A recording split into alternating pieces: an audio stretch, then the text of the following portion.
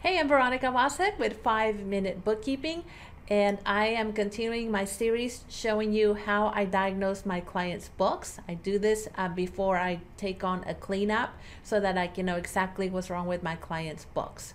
I have done several videos already, so make sure that you look for that uh, playlist in my YouTube channel. Today, I'm showing you how I diagnose the balance sheet and specifically the uh, liabilities and equity section of the balance sheet. So let's go ahead and get started.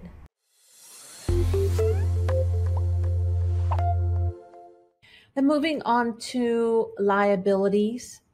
Here's another issue. We have uh, a negative accounts payable balance. So same as I did before for accounts receivable, I will also look at the accounts payable aging summary. And as you can see here, again, we have several old um, credit balances. And in particular, this very big balance. So I'll go ahead and click and see what's there. And it looks like we have a bill payment that is not applied to a vendor bill. Perhaps the vendor bill got entered at some point and then got deleted, but um, here we have to review and, and see what happened, uh, see if this is even a valid transaction. And if it is, then um, find what happened to the vendor bill. Maybe it's entered under the wrong vendor name. Okay, then for credit cards, we have negative credit card balance. Um, these balances are reconciled. So this would fall under the review that I do for when I review the bank balances and the credit card balances. Um, that's in a separate video. Next, we have payroll liabilities. So we have some balances in payroll liabilities as well as federal income taxes payable. These uh, accounts tend to accumulate a lot of old transactions and stale transactions. And typically it's because the clients don't know how to record payroll correctly, or perhaps they used to do their own internal payroll, they didn't enter the payroll correctly, and then I went to a third party provider where maybe they don't have any more payroll liabilities to record.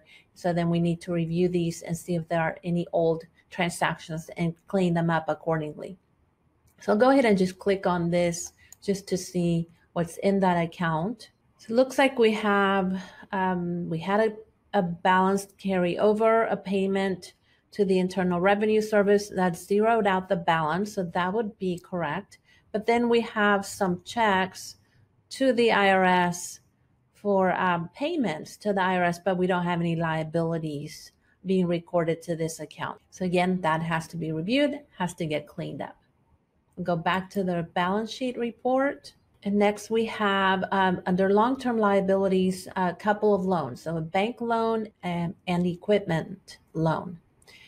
And what we see normally here is that the interest expense is not uh, re being re uh, reflected correctly. So let's go ahead and click on bank loan.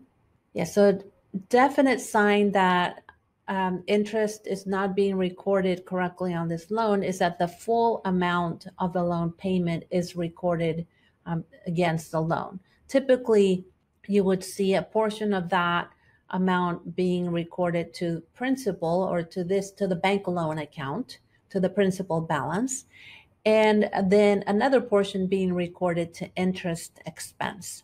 So we can see that this is probably not being recorded correctly. And also what you would do at the end of each month and, and certainly at the end of the year is to reconcile the the the uh, loan balance against some sort of loan statement from the bank to make sure that the balance is correct. So this would need to be reconciled and adjusted. Okay, moving on to equity. We have a balance and opening balance equity. Um, a lot of QuickBooks files do have a balance and opening balance equity, and it's usually from accounts um, being set up in the past. Normally, then we don't uh, want to see any more additions to the opening balance equity account. So let's see what we have in this account. Okay, so we do have a carry forward balance, but then we have several checks and looks like they are payments to the owner. So they're owner draws. So they are recorded to the wrong account. And it looks like we have some journal entries recording some opening balances and those we need to investigate make sure we did that correctly. And perhaps if they were done correctly, then they need to be recorded to uh, retained earnings to, to close these out to retained earnings, but it depends on on the nature of the transaction and how you would adjust it. Go back to the report summary, and we have the owner's draw account, and that should have just the draws and distributions that the owner or shareholder took out of the company. And we can see that here. And there's a couple of additional payments that we would need to make sure that they are correctly recorded. If this content is helping you, make sure that you like, share, comment, and subscribe to my channel so you can get all of my latest videos. I'm Veronica Wasek with 5 Minute Bookkeeping.